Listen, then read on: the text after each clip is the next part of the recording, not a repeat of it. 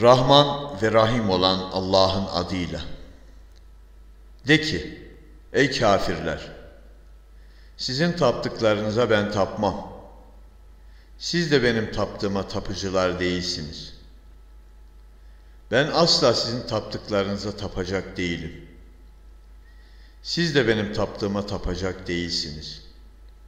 Sizin dininiz size, benim dinim banadır. Sadakallahü lansim.